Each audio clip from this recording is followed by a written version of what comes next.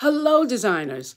You love designing your gift baskets, but do you remember how to upload an image or send some information to your computer or send something out to another person? Me either.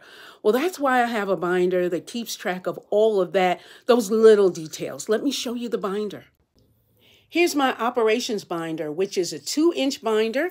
And when you open it up, it has tabs and all kinds of information that I am definitely not going to remember how to do what and how to place what and all those little things we need in business. You'll see at the bottom of this particular example that I have added a footer so I know where in my computer to find this particular operation and be able to update it as I need to. I hope that that quick look at the binder will give you some encouragement to create one of your own. This is Shirley Frazier with Gift Basket Business.